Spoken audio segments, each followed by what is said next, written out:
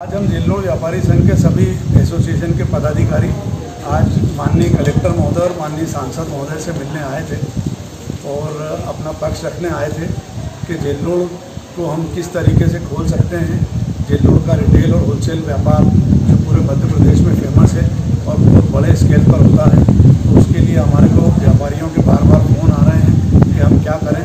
तो हमने उसी हिसाब से कलेक्टर महोदय और सांसद महोदय से चर्चा करी। तो उन्होंने हमारे आज ये आश्वासन दिया है कि आप होलसेल के कुछ व्यापारियों की लिस्ट बना के हमें दीजिए। हम उसके अकॉर्डिंग आपको कुछ कुछ व्यापारियों को कुछ कुछ दिन के अलग अलग दिन के हिसाब से मोहलत देंगे कि वो अपना माल निकाल कर और डिस्पैच कर सकें। रिटेलिंग के लिए अभी उन्होंने मना किया है। काउंटर सेलिंग के लिए उन्होंने होलसेल व्यापारियों के लिए भी मना किया है। उनका यही कहना है कि आप अपना माल कुछ बाहर से आर्डर आ रहे हैं, जहाँ खुला हुआ है तो आप उनको वहाँ से सिर्फ़ डिस्पेच कर सकते हैं। इसके अलावा वहाँ पे सोशल डिस्टेंसिंग का स्ट्रिक्टली को फॉलो करेंगे और बहुत दूरी दूरी से दुकान जो होलसेल होगी, वो बहुत दूरी वाली दुकानों को हम परमिशन देंगे एक एक दिन, हफ़्ते में, खोल के अपना माल डिस्पेच कर सकते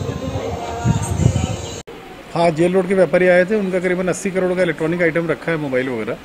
हम लोगों ने बोला है कि हम उनको शिफ्टिंग के लिए परमिशन दे सकते हैं वन टाइम वो भी उनकी पचासी दुकानें हैं होलसेल डीलर्स की, उसको ग्रेजुअली करके देंगे दस दस करके देंगे अलग अलग लोकेशन में स्टैगर्ड रहेंगी।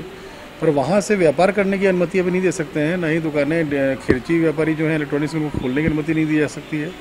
और न ही बड़े डीलर्स को वहाँ खोलने की अनुमति भाई चूँकि उनका माल रखा है, माल ख़राब नहीं हुआ या रोटेशन में आ जाए, बाहर चला जाए संभागों में, उसकी अनुमति देने का हम लोगों ने बोला है और वो एप्लीकेशन भेजेंगे तो डेफिनेटली उसको हम लोग क्रमबद्ध तरीके से चार पाँच दिन में स्प्रेडअप करके उसको माल निकालने की परमिशन देंगे।